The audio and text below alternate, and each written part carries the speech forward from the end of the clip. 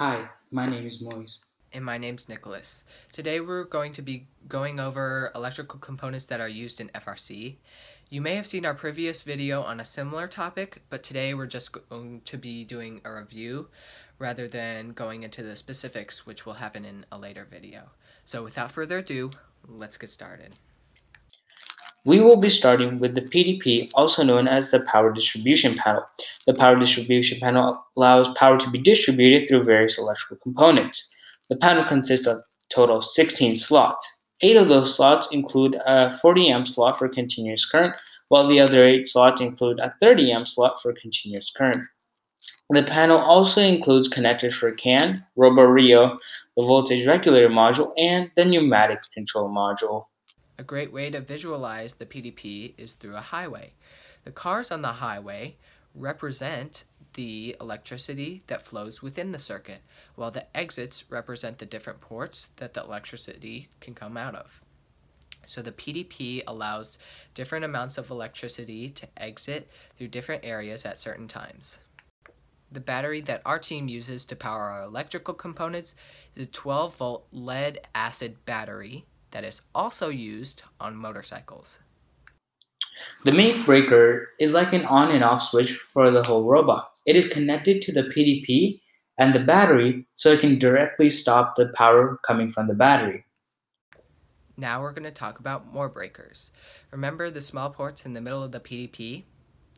Well, those ports are actually used for 20, 30, and 40 amp breakers. So these breakers are there to make sure not too much power goes to one motor controller. And by the way, for one motor controller, you must either use a 30 or 40 amp breaker depending on the type of motor controller and the action you want it to complete. Now, let's look at the RoboRio.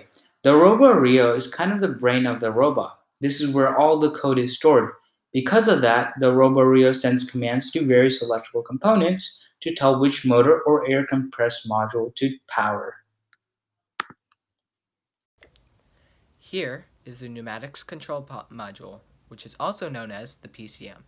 So the PCM is basically the PDP, but only for pneumatics. So the PCM controls the inputs and outputs of the pneumatic system on the robot. This is a voltage regulator module, also known as the VRM. The VRM gets power from the PDP and regulates smaller electronics such as LEDs.